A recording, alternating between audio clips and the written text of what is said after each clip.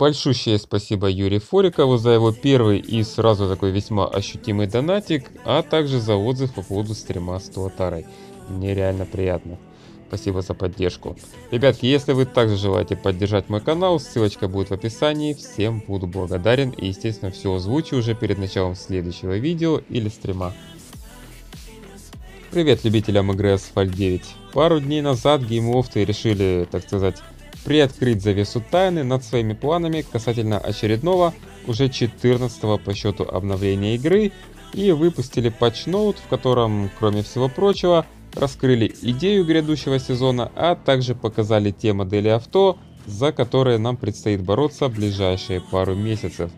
Итак, сезон они решили запустить по тематике Великобритании, а этой стране есть что продемонстрировать в плане автопрома, и Geo добавили нам 4 новых и один, можно сказать, старый новый автомобиль, релизнутый еще перед прошлым обновлением.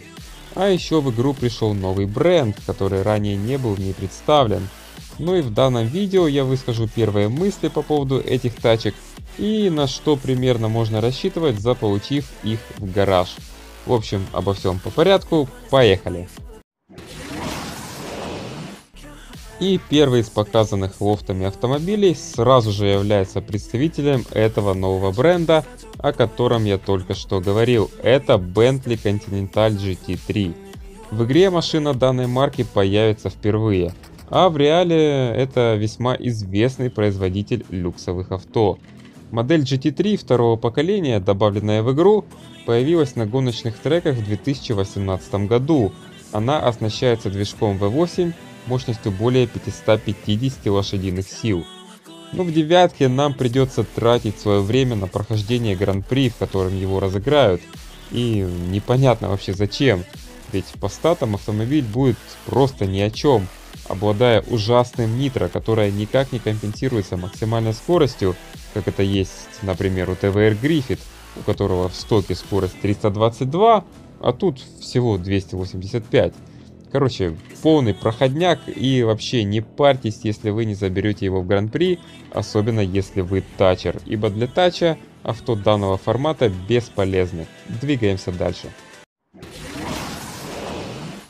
Зачем добавлять в игру один Бентли, если можно добавить два? Подумали разрабы и в C-класс завезли нам Бентли Миллионер Бакалар. Представленный в начале года, он стал самой редкой моделью марки. Всего будет изготовлено лишь 12 экземпляров. Турбомотор W12 способен выдавать своему счастливому обладателю 659 лошадиных сил. Тем игрокам, кто раскошелится на сезонный пропуск, достанется на халяву, но как обычно, видимо, только в двух звездах. По стоковым статам приближен к Галарда, имея одинаковое ускорение, правда каждая из остальных характеристик у него хоть и совсем немного, но хуже. Поэтому думаю между ними именно Ламба будет получше. И если у вас созреет вопрос, что лучше качать Бакалар или Галарда, то выбирайте второй вариант. По крайней мере из начальных показателей можно сделать такой предварительный вывод. Смотрим далее новые тачки из 14 обновления и оказываемся в классе А. И здесь нас встречает автомобильный представитель семейства кошачьих, это Jaguar CX-75. Мне, вот как человеку, росшему в нулевые, это название в первую очередь навевает воспоминания о просто легендарной модели мобильного телефона Siemens CX75, да, были же времена. Вот ставь лайк, если передавал игры по экпорту. Но все-таки сегодня о машинах. Концепт-кар Jaguar CX75 впервые представили в 2010 году. А это уже прошло целых 10 лет на секундочку. Блин, пипец. Британцы планировали создать довольно много экземпляров, но, к сожалению, этому не суждено было сбыться, и проект впоследствии заморозили. Но зато автомобиль оставил свой след в киноиндустрии. В 2015 году по ночным улицам Рима на нем рассекал Джеймс Бонд фильме 007 Спектр. Ну и вот у нас теперь появится такая же, пусть и виртуальная возможность. Трассу Рим мы уже знаем, а какой же в игре будет тачка? Представляя А-класс, но имея только 5 звезд, авто не будет претендовать на звание флагмана класса. но в качестве середняка, а может и выше среднего, я думаю станет весьма приятным аппаратом для сети. Ускорение блистать не будет, но по всему остальному производит положительное впечатление. Это такой себе VLF Force, но с заниженным ускорением и апнутой управляемостью. Ну и четвертый, именно новый представленный автомобиль, это Aston Martin Valhalla. Не знал я по поводу правильного ударения, поэтому пришлось ютубить. И на канале Supercar Blondie оно звучало именно на второй слог. Ну а верить ли в этом плане блондинкам, уже решайте сами.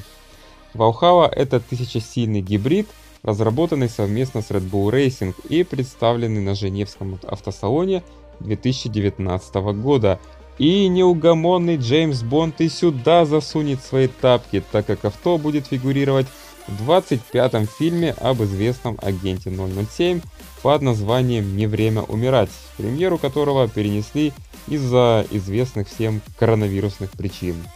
На игровых полях сражений предстанет перед нами в виде немного улучшенного Тэтчруса АТ-96, автоматически добавляя список претендентов на звание флагмана А-класса – только вот э, список этот становится все шире и шире, а для многих этим флагманом все так же остается поганка.